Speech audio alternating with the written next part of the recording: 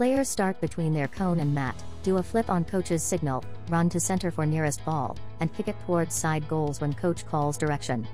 First to score gets the point. Then compete in a 1v1 duel for a third ball and try to score in the coach's called color for another point. Encourage correct motor patterns, mental processing, competitiveness, and creativity. Coaching points.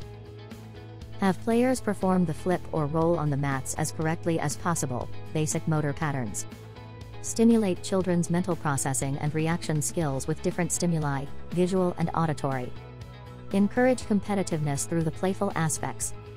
Once they learn the sequence, increase the intensity and speed of execution. Stimulate fantasy and dribbling with feints and changes of direction in the 1v1 duel.